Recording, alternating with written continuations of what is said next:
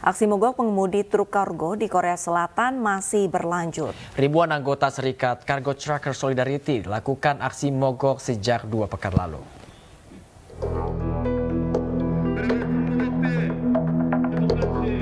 Pemogokan pengemudi truk kargo Korea Selatan berlanjut pada hari Rabu meskipun ada perintah eksekutif untuk kembali bekerja.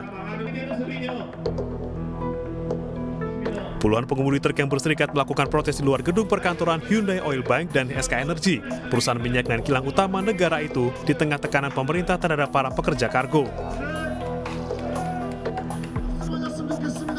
Ribuan anggota Serikat Kargo Trucker Solidarity telah melakukan aksi mogok sejak dua pekan lalu.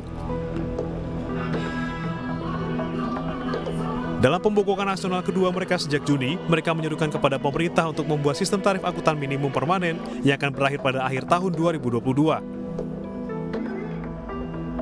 Sementara tarif minimum saat ini diterapkan untuk pengiriman peti kemas dan semen. Para pengemudi truk yang mogok menyuruhkan manfaat untuk diperluas ke kargo lain, termasuk kapal tanker minyak dan kimia, pengangkut baja dan mobil, serta truk pengiriman paket.